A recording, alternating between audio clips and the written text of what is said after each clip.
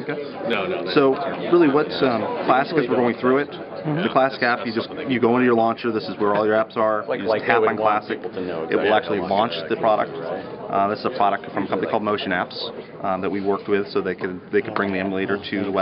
Yeah. Like that stuff. Feel Helpful if I hit the right icon when I do it. Well, that's Google Maps. um, but if you, oh, no problem.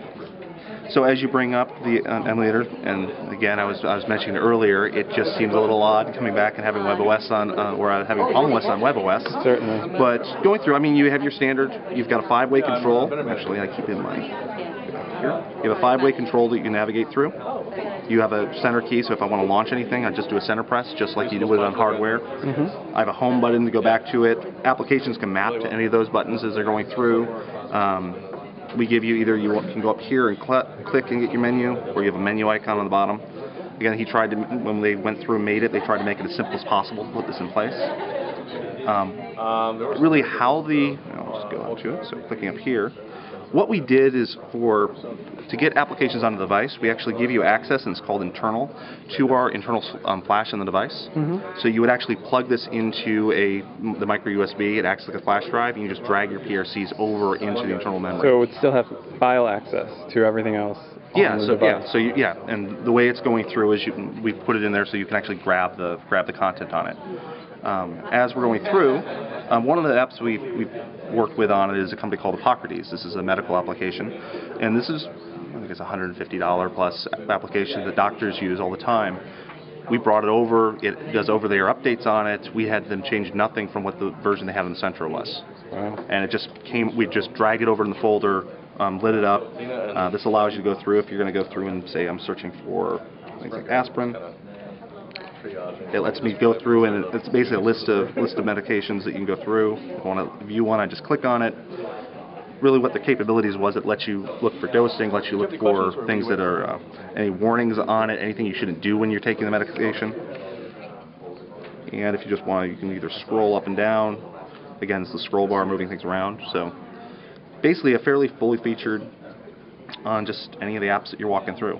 So. Seems pretty pretty snappy. And we definitely we one of the things we have because of the underlying hardware for the pre, we have a much better processor going through, and, and we're seeing performance overall on any application running in it is much better than we've seen in the past. So we're quite happy it's leveraging all the capabilities we put into the device and being able to bring them back to applications carry over. So is there some sort of hot sync functionality, or how would I load my Palm OS apps on it? So the way you would load them on there, there's not a hot sync. We have a compatibility mode, so if you need a hot sync ID for some applications, we let you set it, and that's sort of the, the hot sync piece. And it's, but if you have an application, all you do is, again, you, you plug it in, it acts like a, a thumb drive. And you just drag your PRC that you want to have over, drop it into that the folder on the um, device, and it actually will pop up in the internal memory. Very cool. So Again, it's it's a card, so so you can multitask yeah, with so I other can, web I can, I can go up to any other WebOS app, and you can basically keep going through. So I'm, I'm basically can go through, bring up my email, do whatever I'm going to have in here, go back, and go back So- to the emulator. So is the classic application is that leveraging the standard Mojo SDK stuff, or is that going deeper? So we actually had, so we've gone through it. It's built and using a lot of the Mojo SDK. I think we've gone and added a couple things in it to, to make sure it works better with the overall product. Um, but definitely doing work with them to make sure everything's everything's set up and working properly. Eight gigabytes on the device. How how is the compatibility with existing apps and games for Palm OS? So we've been doing a lot. So we've I'm going through different things from Astraware, so Jewel or whatever. We're not seeing a whole lot of differences on it. The the main parts we've been looking at, and it's just as you're doing any development, we're we're trying to find debugging things as they get the more complex applications.